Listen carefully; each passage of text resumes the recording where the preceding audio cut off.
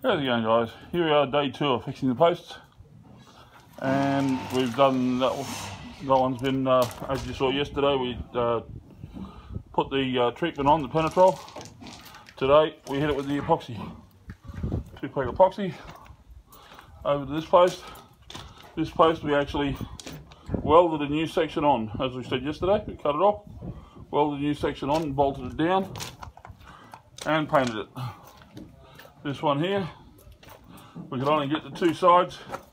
So sealed up each side because the uh, vermin problem that was getting there.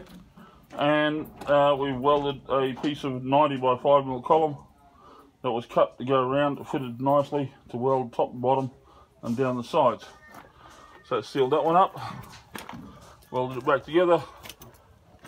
And this one of course we uh, treated that one as you saw yesterday. And now we epoxied it all ready for concrete so they're all getting ready for concrete all the way through, four posts, and that's the next step for Frankie. And he's going to do that shortly.